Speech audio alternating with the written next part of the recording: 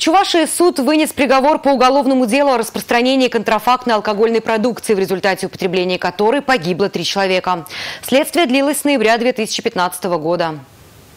Следствием установлено, что в 2013-2015 годах злоумышленники продавали суррогатный алкоголь под видом элитных напитков известных мировых производителей. Указанная спиртосодержащая жидкость не отвечает требованиям безопасности жизни и здоровья потребителей, поскольку содержала в своем составе в качестве основных компонентов метанол, ацетон, а также другие токсичные микропримеси. В частности, концентрация этанола в спиртосодержащей жидкости, после употребления которой скончались двое молодых людей, превышала содержание этанола в ней почти в 8 раз. Материалы уголовного дела в отношении лиц, которые сбывали этот контрафактный алкоголь обвиняемым на территории Московской области, области выделены в отдельное производство.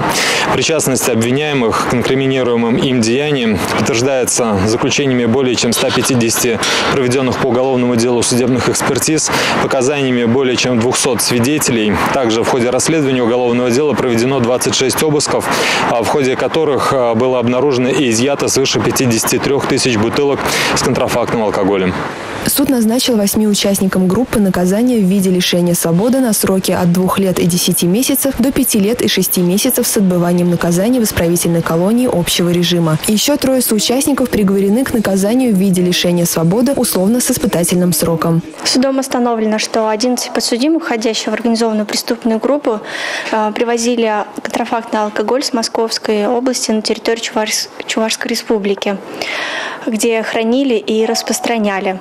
Всего в ходе следствия было изъято свыше 50 тысяч бутылок с контрафактным, с контрафактным алкоголем.